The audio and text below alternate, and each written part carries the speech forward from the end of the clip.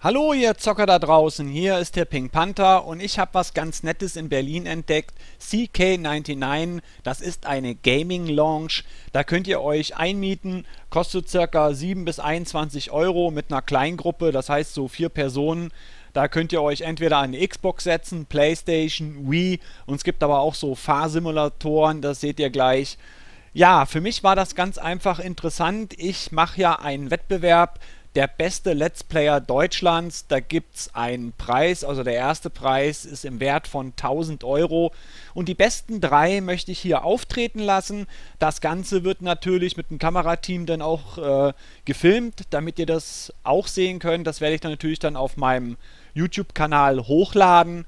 Ja, und da soll das dann ausgetragen werden. Die letzten drei sollen da dann um den Preis kämpfen und sich live betteln. So sieht's aus. Also es ist wirklich schon ganz nett. Da sieht man zum Beispiel einen von drei Räumen, wo mehrere PCs stehen, sechs Stück an der Zahl. Ähm, die sind wirklich gut ausgestattet und äh, für den Preis, den man da bezahlt für eine Stunde, ist das wirklich nix. Ähm, die Dinger habe ich getestet da, diese Fahrsimulatoren. Äh, das macht richtig Laune.